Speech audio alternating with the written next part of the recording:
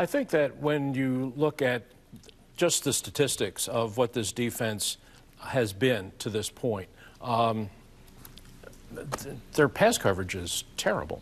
Uh, and, you, coming into this game, they had allowed 71% completions against. I mean, they were right down there with the worst teams in football. Uh, s- you know, 71%, I actually was closer to 72%. Po- Opposing quarterbacks completing passes against this defense. And then the number got worse today. Der- Derek Carr is what, 31 for 34? Mm-hmm. Uh, 90 percent. What? 90, 90 plus percent Yeah. completion. And as I was saying to you, as I was saying to Barrett during the break, 34 pass attempts. How many tough throws did he have? How many of these throws were the kind of throws you expect to see in the NFL? Thread the needle, tight window kinds of throws that the NFL is built on. Not here. Oh, you mean, oh, we weren't watching 707. No, That looked this- like 707 to me. We, the I, say. I say this every week, and it becomes more true every week. Watching this team play defense is like watching seven on seven. Well, but listen, the, the reason why his percent his, his completion percentage can be so high is because they're lined up in predictable defenses all the time and they don't disguise, they don't move. The cornerbacks don't get up and back. The safeties don't fake like they're in one coverage and, and go to another. The linebackers don't get up and sugar like they're going to blitz and then drop out. They line up, they're stationary, they're stagnant.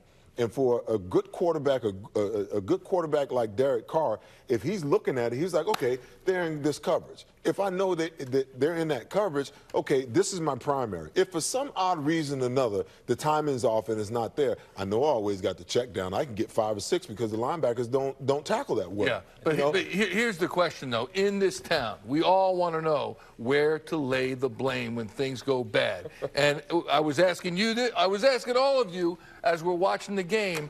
Do they have the? I know they don't have eight, ten Pro Bowlers on this team. I get that, but between the talent they had, and which is what it's about in Major League Sports, it's about the talent. I get it, but sometimes coaching can make up for a lack of talent. Michael, Do they have will- enough talent listen, to I'll- win games to be better than two and five right now?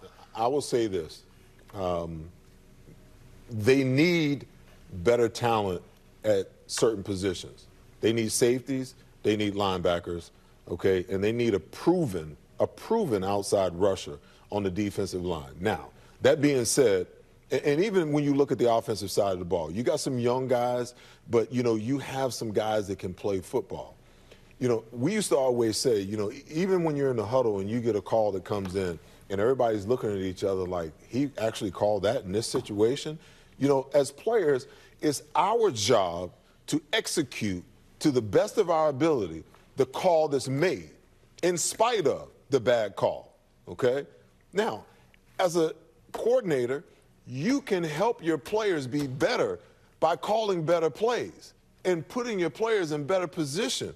The chess game is can your coach out strategize the coach on the other side?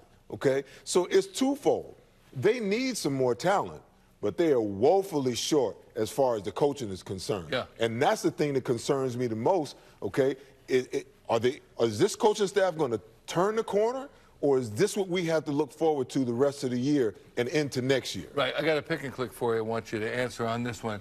Uh, and you can go to NBCSportsPhiladelphia.com slash pick and click. You can click as many times as you choose. Where's the blame go on this one? Who is most to blame, uh, not just for this game, but I would go as far as to say the season. Is a lack of talent, the players? Michael, I'm sorry, you can't staff? you can't just say one or the other. They're all culpable. Uh, no, I need an answer. Everybody. I need an answer. I just One gave or you an the answer. other. I know they may all be culpable, but but here's the Ray and and uh, Barrett to Seth's point earlier about the defensive line having the wrong foot forward.